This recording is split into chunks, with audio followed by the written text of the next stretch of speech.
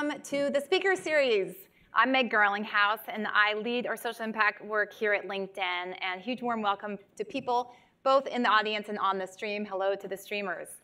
So we are in for a real treat today. Um, we have Jen Dulski, who is the head of communities and groups at Facebook. And she is actually the most purposeful person I've ever met in my life. And of course, she's going to be here talking about purpose, which is perfect. Um, but really quickly, a few things about our speaker series. Our speaker series programs brings inspiring ideas and innovative thinkers to LinkedIn to help employees and members be more productive and successful. You can always go to speakers.linkedin.com to see some of our past amazing speakers if you're interested in. So a little bit about Jen. Of course, you can find more information about her on her LinkedIn profile. Um, she's a LinkedIn influencer, which is good to know. I think one of the earliest LinkedIn influencers. But I've known Jen for more than 15 years. She and I were in kindergarten together. Just kidding. Um, she and I were at Yahoo together. Um, she actually founded the Yahoo Employee Foundation, which has become kind of a model for other um, foundations in the corporate world. Um, but she um, went on to uh, have a huge role and influence at Yahoo. She actually ran one of Yahoo's six business units. Um, she also founded a nonprofit. Um, this was before Yahoo. But after Yahoo, she went on to create um, a company called DealMap, which famously became the first company that was sold to Google by a female CEO, which is both incredible and tragic, as Jen pointed out to me, to be the only female to sell a company to Google. But I'm sure that's going to change in the future. Um, so she, she's amazing. As I mentioned, she is the most purposeful person I've ever met, and she is here today to tell us how each of us can bring purpose and movements to our life. So with that, I will welcome Jen to the stage.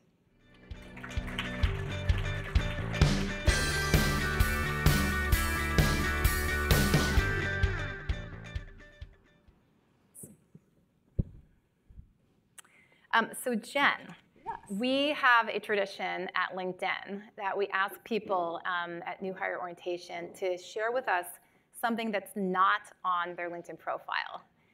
So what is something that's not on your profile and maybe even not in your book?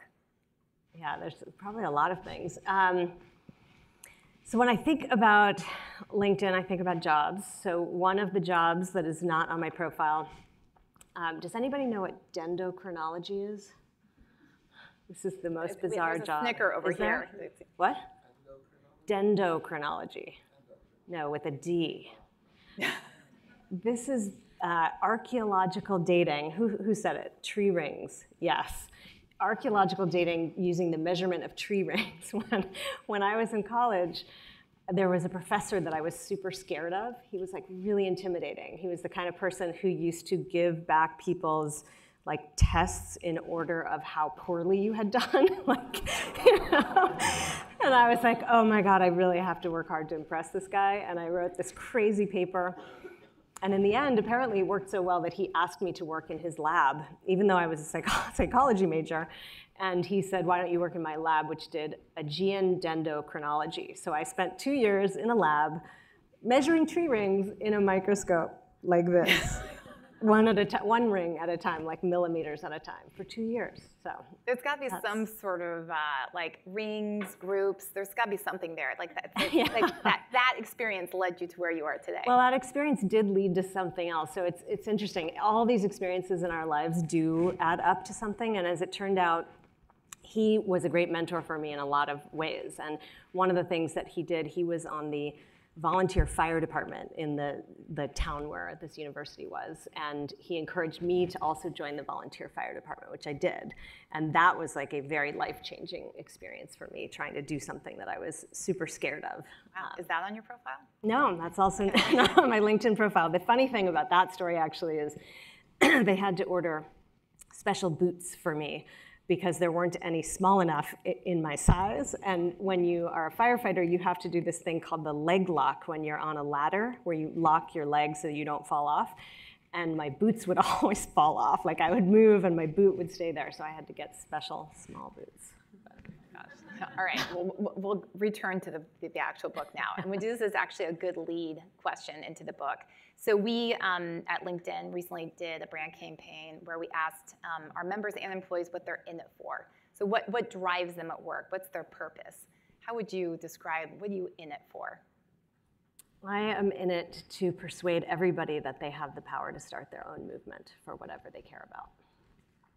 Excellent. Um, well, with that, let me go to the actual official questions for today. And by the way, we are going to open this up for questions around like 135, 140. So as you hear things, then you have a question, be, keep, it, keep those in mind.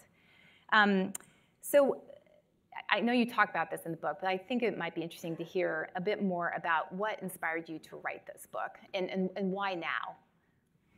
Yeah, so I feel really fortunate because I've been able to have this career that gives me a kind of front row seat to watching regular people do amazing things all the time. And it started very early in my career. As you mentioned, I ran a nonprofit. Um, it was about helping kids be the first in their families to go to college. And so I saw these kids who were so motivated and working so hard and literally like changing the whole trajectory of their families' lives and often their communities.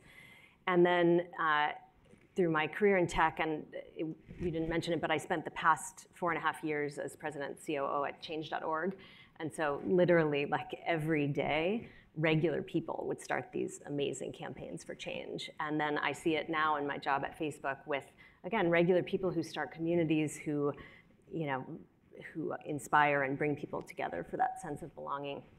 And it felt like I was getting this front row seat to all their lessons and the things that they had learned, and that if I could just share those lessons with more people, that more of us would be convinced we could do it, and that would lead to more movements that change the world. And books take a long time to write, so I have uh, been working on this book for a few years, and uh, the world has changed a lot in the past couple years. So it does feel perhaps more important than ever that people are convinced that they can drive change.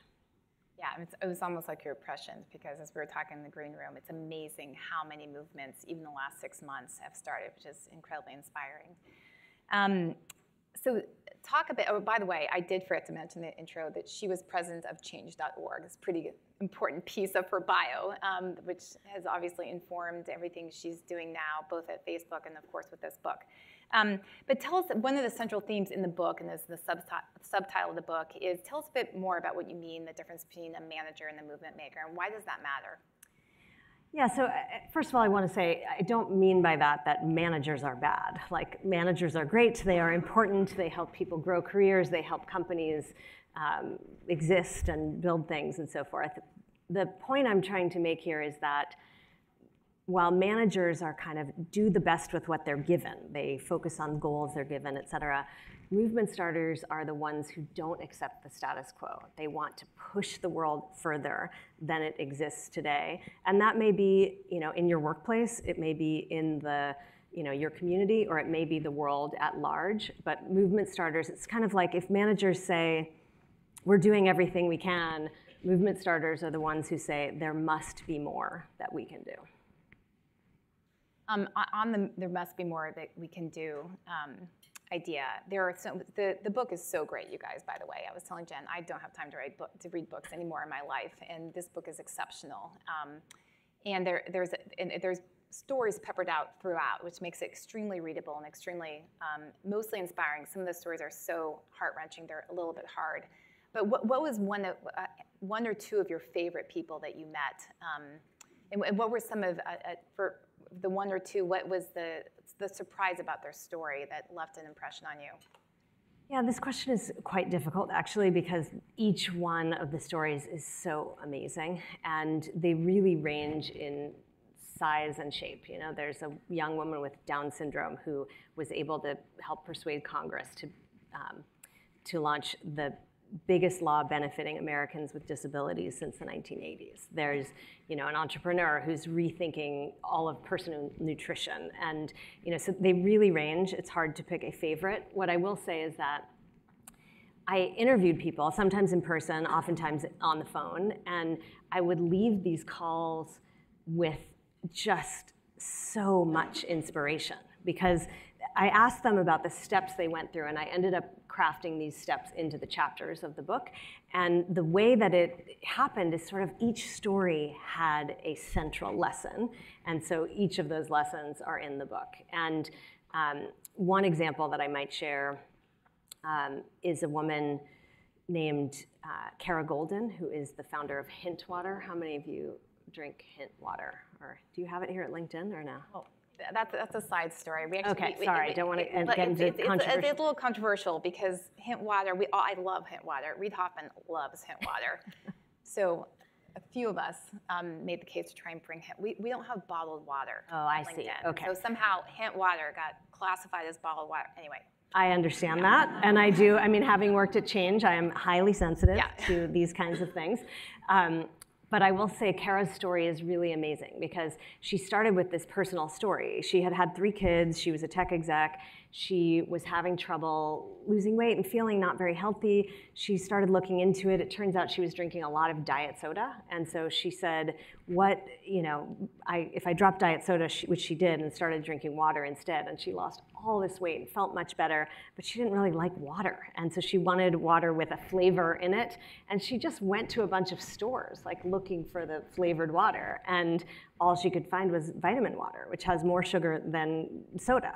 And so she said, I, I'm going to do this myself. But she faced so many critics and so many obstacles. And this is what, you know, the, the lesson I pull from Kara into Purposeful is prove your critics wrong. Because, you know, she talked to the person at Whole Foods and he said, sure, like if you make this, yeah, we'll put it on the shelves, you know, tell me when you do that. And he was just completely skeptical that she could ever do it. And then she had an exec from a big beverage company who told her, you know, sweetie, like people don't like sweet. You know, people like sweet. They're never going to like this. And you know, obstacle after obstacle, she kept going. And Hint has turned into such a movement now that it's not only this big water brand, which is you know $100 million, which is helping a lot of people be healthier, but now she's making sunscreen. I don't know if anyone's seen this. Like she didn't start a beverage company. She started a movement about our health, and she realized that sunscreen had a lot of bad ingredients. So she said, "I'm going to make sunscreen too, and I'm going to flavor it with the same scents that are we're flavoring the water." And now you can find Hint sunscreen in Target. It just went into CVS this week. Um, and so her story was one that, of many that inspired me. Um, the other thing that struck me about these stories is, um, I mean, literally, there is a story in there from every uh, gender, age, demographic, geographic. Like in some ways, there is no common thread about like who is a movement maker, and that left such an impression on me because I'm guessing that many of you in the room are like me, and I'm thinking to myself, I'm not a movement maker. I'm not one of those. I'm not Kara. I'm not Mary. I'm not Megan so talk more about that like what, what was it what is there did you find one personality attribute one gene No. This is the point. This is the main message of the book is that we can all do this. And it literally is children, there are grandparents, as you say, there's people from every religion, every country, every race and age. Um, one of the stories that I tell at the very beginning of the book is a woman named Manal Rostam. She was uh, on a, she's from Egypt. She was on a bus trip with her cousin, and they were having fun. They switched seats. Five minutes after they switched seats, the bus got in a horrible accident, rolled over three times, and her cousin, with whom she had just switched seats, died on the bus. And she lived, and she said, you know, what do I do? This shook her to her core. And she is a Muslim woman, and she hadn't been very religious up to that point, but she decided then to start wearing the hijab, the Muslim head covering, and she wore it for many years. And then she found years later that she started facing more discrimination, and she saw women all around her taking off their hijab and thinking, "What can I do?" It's you know, it's just me. She's she was a young woman in her 20s at the time. So she started a Facebook group called Surviving Hijab, and she just invited 50 of her friends. And then over the next, you know, days, months, et cetera, it grew. This group of women is now more than half a million women who are there sharing with each other about this experience, supporting each other. And then she realized once she had this big community that she could do more with it. And she herself is an athlete. She loves to run, and she would have trouble because there isn't really any gear made for hijabi athletes. And so, you know, she's just a regular person, a regular person who started this group, and she wrote a letter, an email to Nike saying, "Hey, why don't why isn't there any athletic gear for Muslim women who wear this?" And they ended up writing back to her. It was just one tiny action she took, one email to one person. And that ended up leading to discussions. And now Nike launched uh, at the beginning of this year Nike Pro Hijab, which is a full line of athletic gear for Muslim women. And you know, she's just a regular person. But she says she has this great quote about. I, I wasn't a dead fish. I, thought, I saw myself and I, I thought, if I do nothing here, I'm just a dead fish. And I didn't want to be a dead fish, so I did something about it that's yeah, that is an amazing story. I think we actually um, some of us saw that ad when we were um, in the Middle East recently. It's an extraordinary Nike campaign too. Um, so talk more about um, how important community is to these movements, um, particularly now that you have this incredible role at Facebook and maybe even from your Change.org days. Like, how much does that matter, and what are the new ways in this new world that we're living in that community can engage? Yeah. So I talk about movements a little bit like starting a standing ovation. You know, all movements are started either by individuals or small groups of people. They're not started by organizations. And being a movement starter is like being the first person to stand up and clap in an audience. Has anyone here ever started a standing ovation? Like been the first person? Well, I see one, two, some very shy people raising small hands. Okay, a few people. And it is, it takes bravery to like be the first one and say, I really like this thing and woohoo. But it's not a movement or a standing ovation if you're the only one clapping. But right, um, that said, like of the people here who've started a standing ovation, were any of you the only one? Like, does that ever happen? That only one person stands up and nobody else? Very rarely. And so the key to movements is community, right? It's like being the first one to stand up and clap and then pulling those other next few supporters to stand up with you.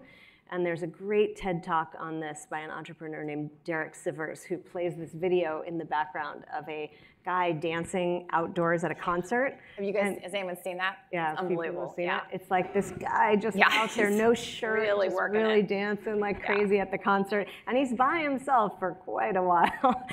and then eventually, one other guy stands up and starts dancing with him. And it's like how you approach that first follower or those first, those second few people who join you that makes all the difference. So instead of just continuing his own dance, he grabs hands with the other guy, he twirls him around, he's like really welcoming his followers, and then a few more people, a few more people, and suddenly like the entire crowd is up there dancing. And so community is like that. And we sometimes refer to great community leaders as people who are, it's like they're hosting a party. It's, you know, when you start a movement or start a community, you have to invite people in, you take their coat, you introduce them to each other, you start conversations. That's what makes them work. And there's a lot of stories in the book about um, how people get those first few followers. And sometimes it's easy, people just join you right away because you have this clear vision and really inspiring story. But sometimes it's hard. And there are, there's a story about Megan Grassel, who we talked about. She's a teenage girl. She took her sister, her younger 13 year old sister, bra shopping. And all she could find were these super like sexy push-up bras. And she said, like, how can this be right for my 13 year old sister that this is all that's available. And so she decided to start a company, which she now calls Yellowberry, um, to create non sexualized bras for teen and tween girls. And she made a lot of mistakes at the beginning. She tells a story about how she she picked her first fabrics that she ordered online by the color, and it turns out she ordered all sailboat material, which doesn't make a good bra, by the way. Um, and then she started a Kickstarter campaign and she tried to raise $25,000 and from her you know, friends and family, she had only raised 200. And she said she was so embarrassed, like all her friends at school could see this because she's only a teenager. And instead of just stopping there, she went out and said, who else can help me? And she cold, like emailed and messaged 200 people who write blogs and have groups and so forth. And one out of 200 responded. And that person was the, the woman who runs A Mighty Girl, which is a blog and a Facebook community. And she posted about Megan's campaign, and the next day it had $25,000 raised. So like just a little bit more determination and a little bit more courage to reach out and ask for help, that's what can help. um, Start Right. There's another story that I remember of a vision of a man standing alone in Istanbul, Right. Istanbul Square or something. Yeah, Taksim Square in Istanbul. Basically, the, the point here is just that sometimes people don't get started because they think that they have to do something enormous from the beginning. Like you have to be Nelson Mandela or Gloria Steinem to like, you know, from day one. And that really isn't how it works. It starts with people taking pretty small actions. And yeah, there's a story about um, during a lot of the kind of violence and upheaval in Turkey, one man uh, went into the middle of Taksim Square, which, if you've ever been to Istanbul, is a kind of a big square in the middle of the city. And he just, there had been some violence there in the previous weeks, and he just stood still in this square where the violence had taken place. And he stood by himself for several hours, not moving, not doing anything. And so it was, it was such a small action, almost a non action. And then slowly people started to come stand with him. And then they started to stand in other places where they where violence had occurred, and soon it was all over Turkey, people just standing still as part of this movement. It's amazing. Um, an, an analog to standing alone is also um, when you do start a movement, you're pretty vulnerable to criticism, and I think you call them the haters or the trolls. Yeah. Um, so, what, whether, what- what's your advice on how to address that? Yeah, so as I said, the, the book goes through a, a set of um, steps that I've seen all movement starters do when they're successful. And again, there's no um, like type of person that's successful, but there are a set of steps and skills that I think are critical. Uh, and later in the book, there's a chapter called "Don't Drink the Haterade" about like the more successful you get, the more likely it is that you will face criticism. And especially today, when you put yourself out in public, we all know and we see it on our platforms that it can subject you to criticism. And so there's a number of, of tips there about this, a few that I think are worth mentioning. Um, one is to think about criticism in two buckets. So I talk to a lot of people who've been highly exposed to kind of uh, feedback and, and hate. And what they say is that it helps them to separate feedback about the things that are outside of their control. So things like your gender, your race, your appearance, where people are commenting on things that you A, can't change, and B, don't have anything to do with what you're actually doing. And then the second bucket is feedback about what you're doing and why you're doing it. And that bucket of feedback can also come in nice ways and in less than nice ways. But if we separate it to say, okay, this is feedback about what I'm doing, and can be uh, open minded to thinking about how it might help us, then it can actually have value. And there's a quote that I love uh, from Ken Blanchard, who's a great leadership um, writer and guru, and he says, even the best athletes in the world have coaches, right? So, like, the idea is all of us can benefit. And I, I think about the athletes that, like, when I grew up in San Francisco, so I was a 49er fan. I had, like, Joe Montana posters on my wall. And, Wow. um, New fact about Jen Dulski. and Steve Young. I was kind of in the split era when they transitioned. Um, but yeah, they have coaches, and it doesn't mean that their coach throws a better touchdown than they do, or like Serena Williams' coach has a better serve than she does, but they have something to teach them. And so there's a lot that can be taken from criticism, even when it's not nicely presented. And there's a story about a woman named Mary Lou Jepsen who has led big tech teams at both Google and, and, Facebook. But before that, she started an organization called One Laptop Per Child. Hmm. And this was the idea was to build solar powered, super inexpensive, light readable laptops for children in the developing world. And there was a ton of interest in this product, but everybody told her it just was not possible. And so what she did was say, like, how do I use this criticism to my advantage? And she did what I call leveraging the naysayers. So she went and met with a bunch of executives at one of the large tech companies in Asia. And they said, she did her pitch, and they said to her, there are 23 reasons why this won't work. and she, instead of getting discouraged by that, she just said, well, okay, I've been taking notes, and I have 17 of these things solved. How about I go back, try to solve the other ones, and then come back to you and see if you have any more, you know, problems. And that's what she did. And they basically helped her debug her own product for free because she was willing to take their criticism and not get discouraged. And so I think there's just a lot of ways for us to handle feedback, and there's a bunch more tips about that in there. Yeah, that, that's an incredible uh, le, le, lemons to lemonade story. Um, you know, Jeff, when he was uh, previewing this talk last week, gave you huge props as being one of the uh, most extraordinary leader managers that he's ever worked with. And I know you have some of this in your book, some tips and tricks, because of course at some point in a movement, it's, you're not alone, you actually have a team that you're managing. Can you talk about some of either your, your personal um, philosophy around leadership uh, or things that sure. you do in the book? And I will say, you know, it was very much a, a privilege for me to work with Jeff too. We worked together many years at Yahoo, and I learned a lot from him as well. So I love watching his leadership style grow and expand as well. Um, I have some funny Jeff stories for when we're not maybe when on we're the not live. live. Yeah. Exactly.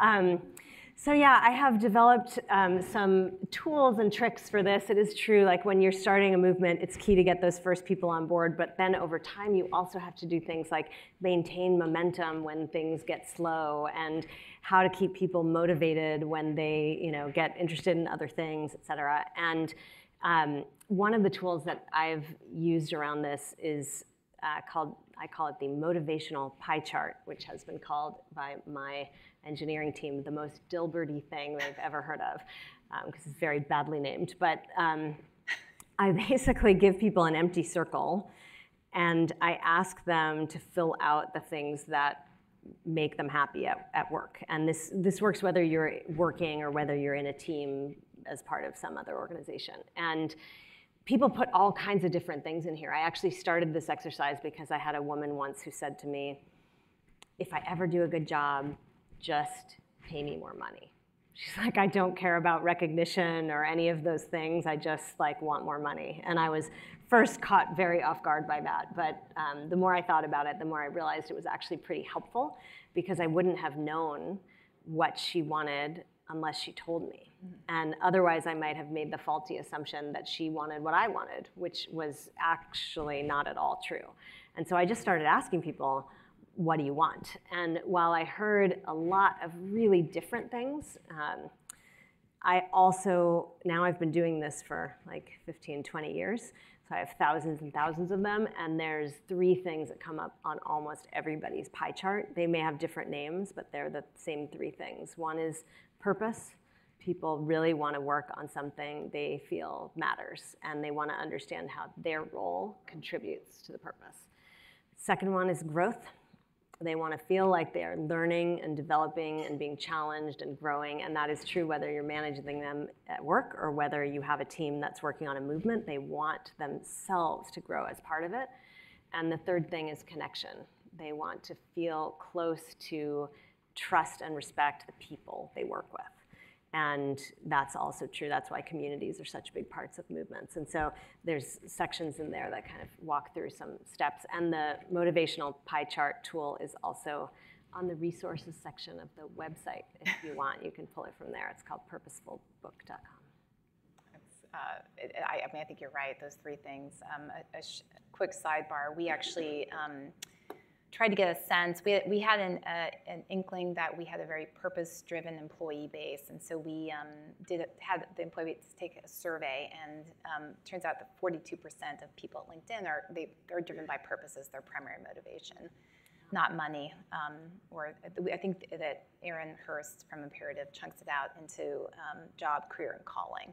So it's it's not a surprise. I think our CEO does in, in and everyone here does an incredible job of really communicating what LinkedIn's purpose is, and so we naturally um, attract people who are oriented that. Which is just another reason why I'm so thrilled to have Jen here with us today. Um, so um, I'm gonna ask two more questions, and I'm gonna open up to the mics as you guys start to think.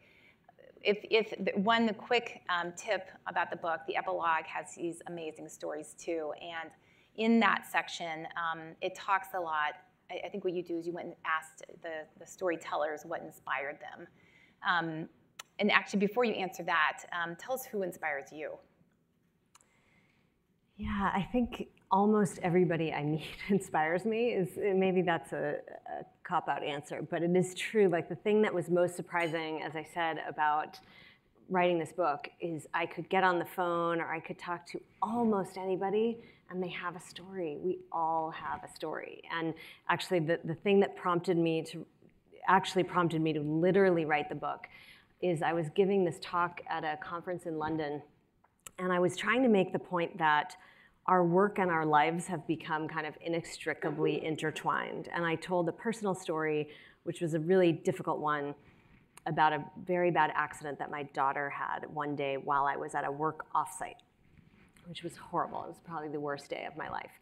And I wanted to make this point because you know we all work with each other every day and yet we all have these things going on in our lives that matter to us outside of work and matter a lot. And so I asked the audience this question. I had a list of like five or 10 questions I was going to ask the audience. And my goal was to get, get them to stand up with each question and try to make the point after you know, four or five questions that we all had these similarities. And I asked this question, I'm tempted to ask this audience. You're a little bit younger than that audience was, so it might not actually be true, but we can try it.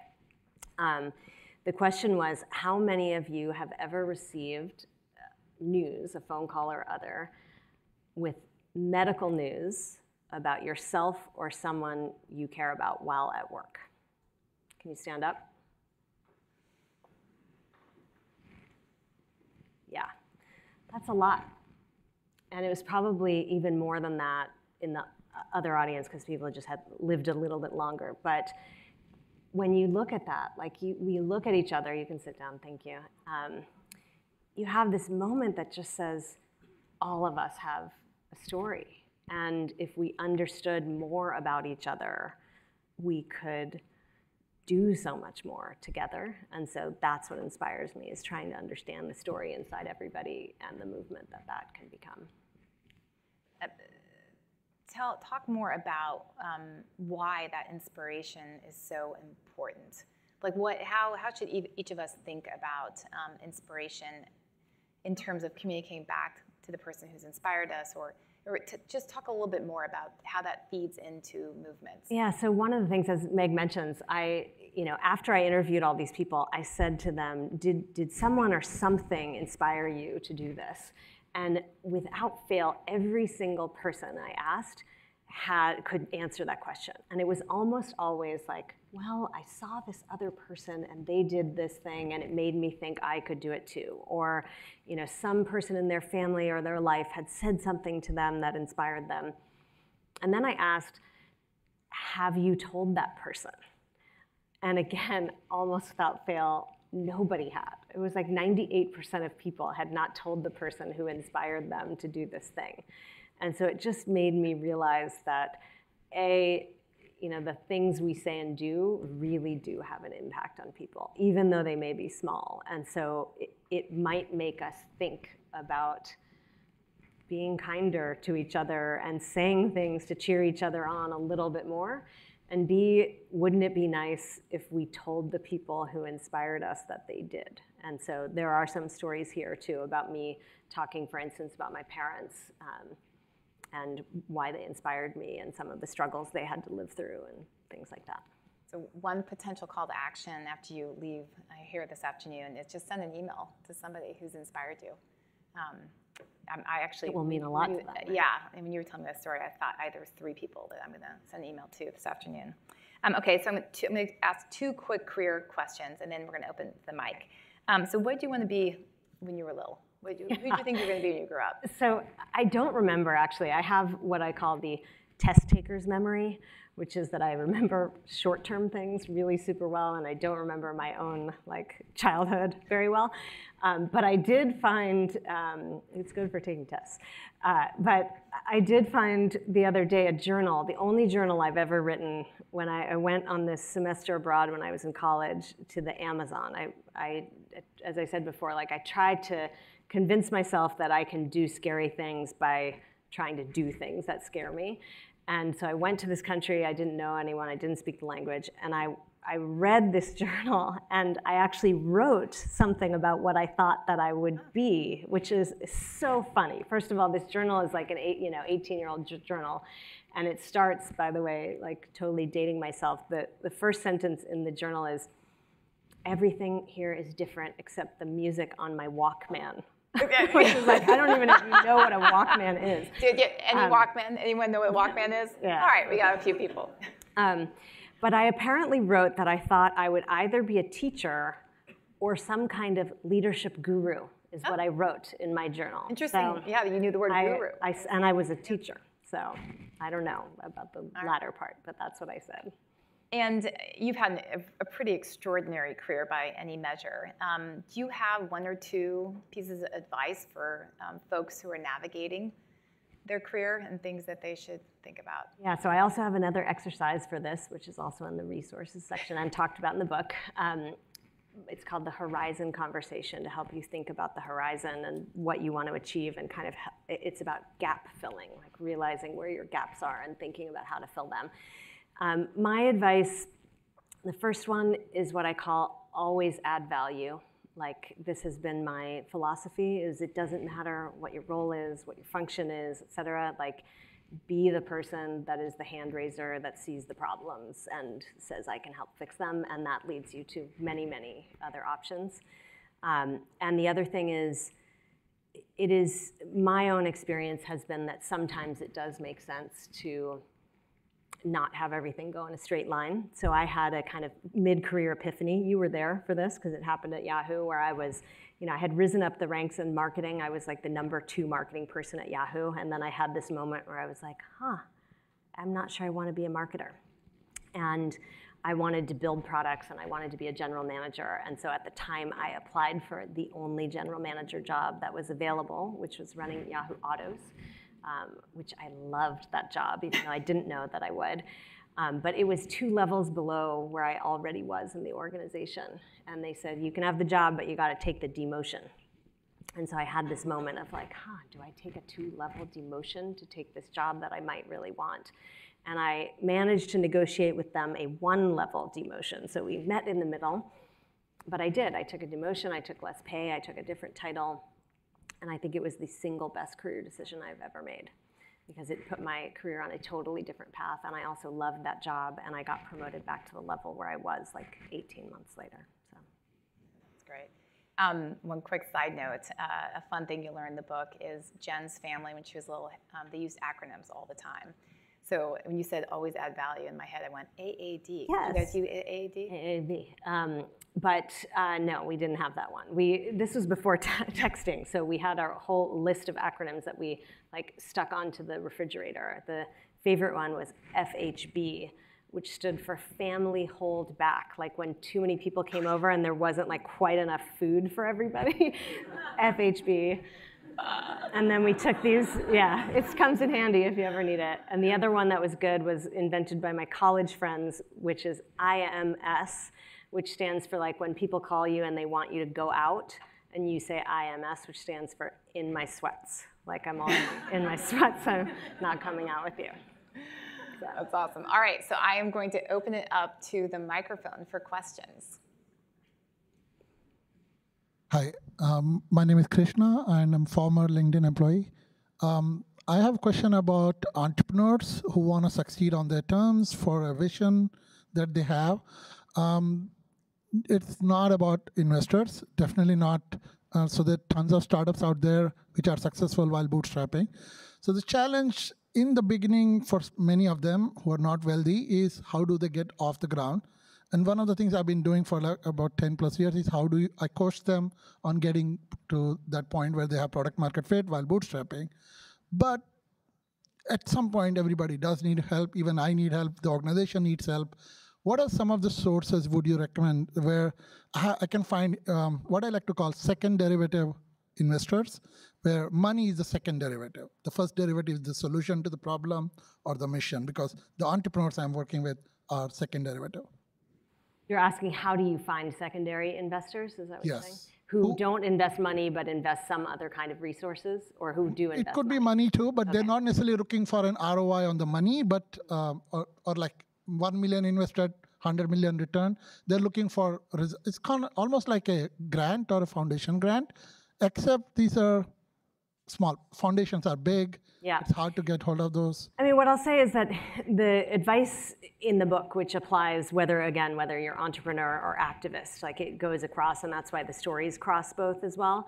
Um, they apply here, right? And it it is about being really clear and compelling about your vision, and and not only like in words, but with stories that bring that vision to life. And it's about understanding what motivates the people who you think will try to help you, right? So if you want someone to help you, you need to understand what they care about and whom are the people that motivate them. And there's a lot in there about kind of persuading decision makers. This also applies to investors. So yeah, that's what I would suggest. Thank you. Awesome. Thanks, Meg, for hosting. And uh, thanks for your amazing words, Jennifer. This is really helpful. So, I roll up through the economic graph team here and been thinking a lot about my background is in more sort of activism and grassroots organizing. So, I never saw myself at somewhere like LinkedIn because I've always thought of myself as sort of an offline organizer. And the blessing of these big platforms like LinkedIn, like Facebook, is it's wonderful opportunity to find and organize people online virtually.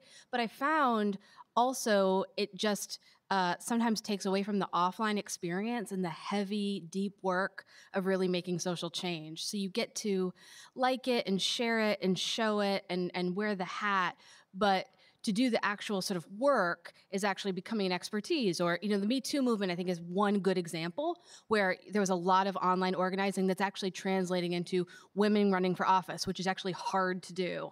And there's a lot of expertise around that. I'd love to, to hear some best practices or strategies that you've seen from these experts about how to move that online experience that feels good, that feels fun, that's light and easy to share, to actually translating into sort of deep sort of social impact on the ground that people can feel. If there are ways to help transition that online experience to offline, or if you've got an offline experience back, but I think mainly from sort of the online to offline, doing that real hard social impact work that we all have to do every day. Sure. So the first thing I would say is that it is probably a misconception that some, which not that you raised, but that a lot of people have, that like these small online actions don't lead to other things. And we saw this at change.org. People would say like, oh, isn't this, you know, slacktivism or something? And the truth is that 47% of people who sign a petition go on to take at least one future action. They tweet a decision maker, they share with their friends, they often end up going to physical rallies or events.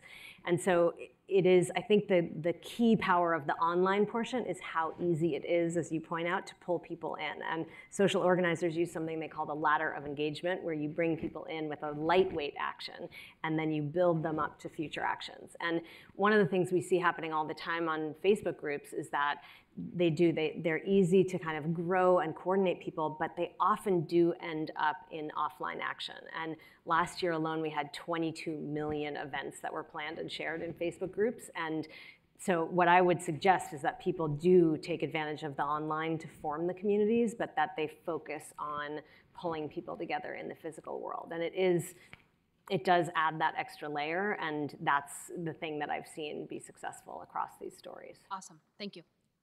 Thanks, Laura. David. Hi, Jen. Uh, thanks for the conversation today. Meg, great job uh, moderating it.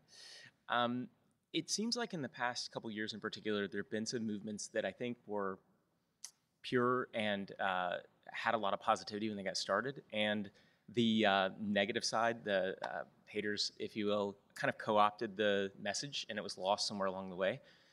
what advice do you have to people that are those movement leaders when the when the dialogue starts to shift in a way that is maybe misconstruing the original intention? How do you get it back on track? So I'd say two things here.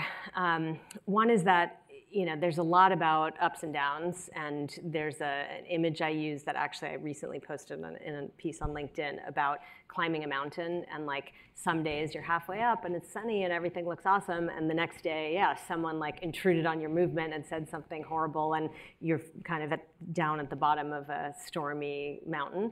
And so part of it is just like having the wherewithal to keep climbing even when it gets difficult. And what often helps with that is having like a team of allies to support you. So the, the bigger your team and the bigger you know your supporters, the more you can combat when that happens. And I've seen it even personally. Like I, I posted recently in uh, online about something related to the book. It was a giveaway for the books, and someone made a really pretty nasty comment um, about me directly.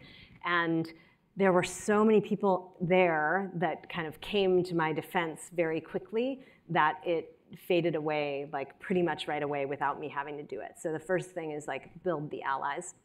Second thing is that I do have a firm belief that people are not born as haters or trolls, and it comes, you know, it, it comes because of the fact that their lives are difficult or they've been treated badly and they lack a sense of belonging and so forth. And oftentimes they are you know, swept up by uh, groups of other haters who make them feel like they belong. And so really my belief of the way to combat this over the long term is about getting underneath that and trying to help um, build bridges of understanding. And that's a, probably a conversation for another day because it's much longer. But I, I, think that there have been individual cases, for instance, where people will like get an angry tweet and instead of, you know, just ignoring it or tweeting back something angry, they'll be, be nice and, you know, kill with kindness or however you want to label it. In the book in purposeful i call it the bear hug which is like treating people with an oversized dose of love and understanding instead of combating them and that can often actually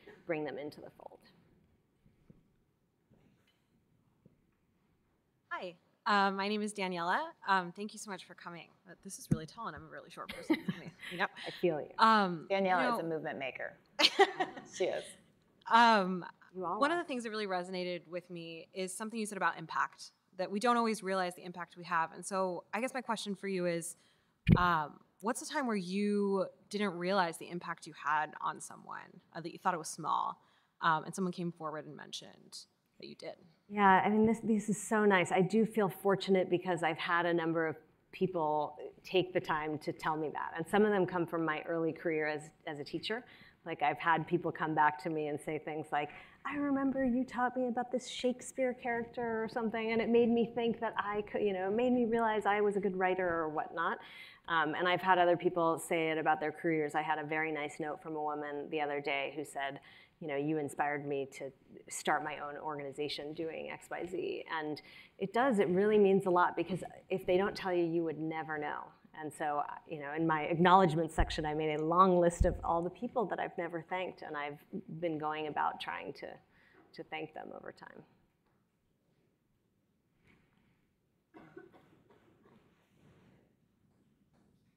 Hi there. Uh, thanks, Jen. Thank you for coming. Thanks, Frank, for hosting. Um, I actually wanted to build on Daniela's question a little bit um, and sort of turn it the other way around. So, um, you know, a lot. You obviously work at a company that has a big impact on lots of communities. At LinkedIn, we can do the same thing. Um, how do you approach getting people to understand what that impact would be, or even just understanding that impact? Because a lot of times it's, it's, not clear, right, when you're making a product decision or, or what have you. So, um, how do you approach working with partners that might be in engineering, might be you know from very within various roles in your team, and get them to understand or, or work with them, I guess, to understand like what the impacts would be of making a change or yeah. that sort of thing. So again, the, the job that I have is to empower the tens of millions of community leaders who build communities on Facebook, and it's um, it's a very inspiring job because we get to hear their stories all the time. And you know, like Manal's story that I told earlier is just one of, you know, millions like that. And so really the thing that I try to do most is listen and tell the stories and let them tell the stories because everything we do is really in service of them. And all platforms, you know, this was true at Change, it's true at Facebook, it's true at LinkedIn. We're just empty shells until people add content to us, right? And so really at the end of the day, everything we do has to be in service of the people that are using it and what they need. And when you see what they do with it, that that is, you know, the magic. I'm going to take advantage of my moderator status and ask one more question. Um, so it does feel like there are more movement makers now than ever before. Um, have you taken a look historically, and do you have a point of view on that? Yeah, it's interesting. I obviously I have not done like formal research yeah. to see to, to, you know count the numbers and so forth. My guess would be that um, what we've seen is that technology is empowering right. way more regular people to do this than could before because you can, it's just a lot easier to build supporters now for things. Um, and it is it's just true that you see more so both it's easier to do and it's easier to spread when you do do that so my favorite recent example is um, emma gonzalez and the parkland mm. students who've just done an incredible job of you know taking what is a really really tragic difficult time in their lives and experience and making that you know, their movement that has brought in so many people and has already been effective. Like the fact that these teenagers have persuaded the state of Florida to change their gun laws when nothing for decades and decades has done that.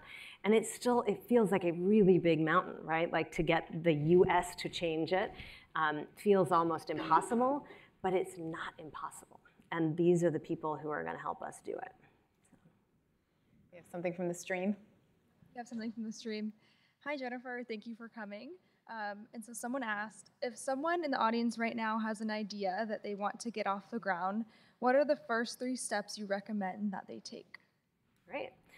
Um, this is slightly self-promotional, but I will say there's also a Facebook group for Purposeful, um, which is free to join whether people read the book or not. I'm trying to start a community of people who are helping each other get these things off the ground, so I would do that.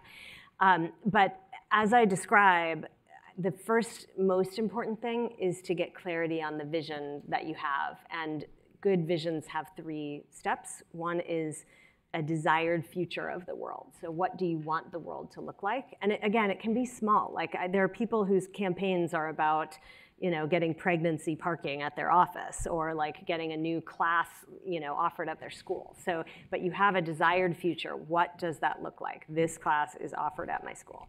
Um, the second part is purpose. Why does that desired future matter to you, matter to you personally? And the third part is a story that brings it to life. And this is the thing I think most people forget, and especially most business people. This is like social organizers are exceptionally good at storytelling.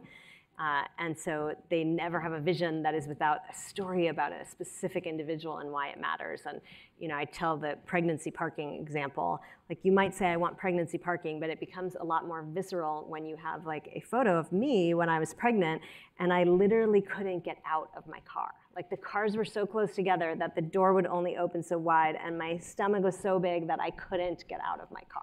Like that somehow makes it more clear why you need it. Um, so desired future, purpose, and story.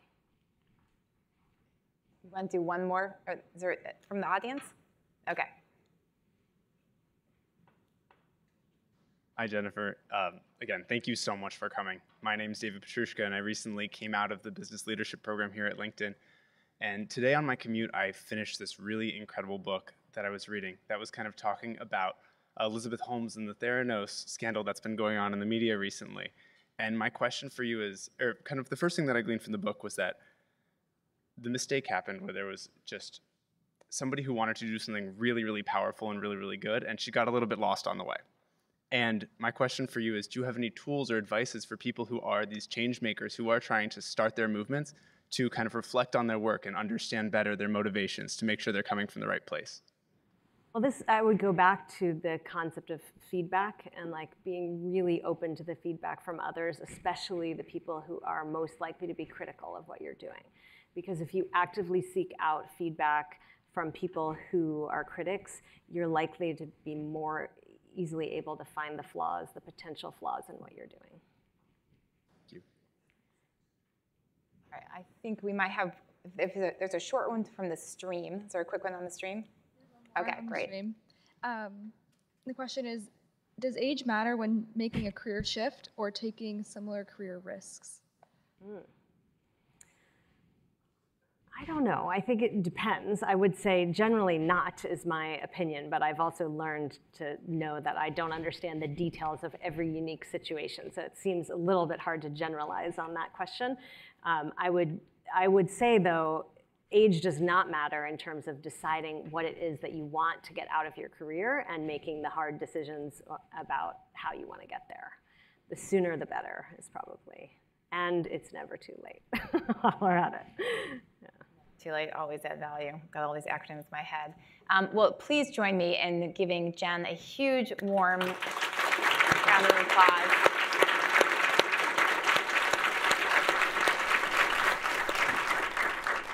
she, for folks in the room, she is going to stick around to sign books if you're interested. And um, for folks on the stream and in the room, if you're interested in seeing the replay or other speaker series, please go to speakers.linkedin.com and we'll see you at the next speaker series. Thank you so much for coming.